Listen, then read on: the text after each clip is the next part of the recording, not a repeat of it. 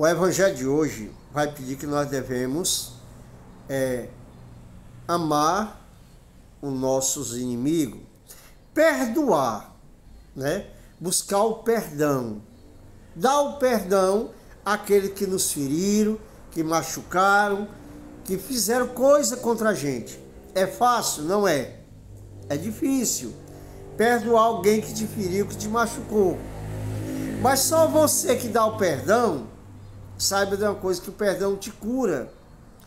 Quantas pessoas se encontram doentes por consequência da falta de perdão? Então, se você perdoar o teu irmão, aquele que te feriram, que te machucaram, você é um vitorioso. Segundo, as tuas feridas, as tuas doenças, por consequência da falta de perdão, será curada. Porque o perdão se abre a uma graça de Deus na nossa vida.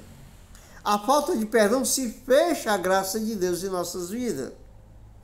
Por isso que Jesus vai dizer: amará o teu próximo e rezai por aquele que vos maltrata e vos persegue, né? Então, meu irmão, minha irmã, dê o perdão, amai os vossos inimigos, fazei o bem àquele que vos persegue e vos maltrata.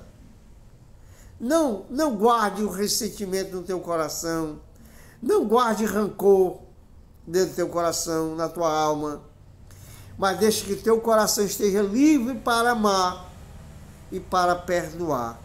Assim como Deus Pai nos perdoa pelos nossos erros, porque eu e você somos fracos, somos limitados e também nós erramos.